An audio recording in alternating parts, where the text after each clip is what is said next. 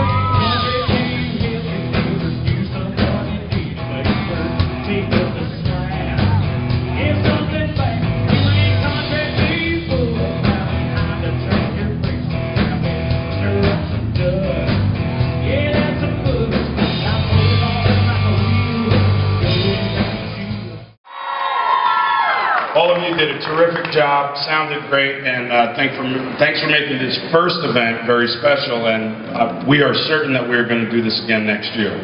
So we look forward to you coming back. This year, the winner of a $20,000 check is Fire Wow! Nice job, guys. Terrific. Congratulations. Beetle, uh, stand behind. Yeah, boy!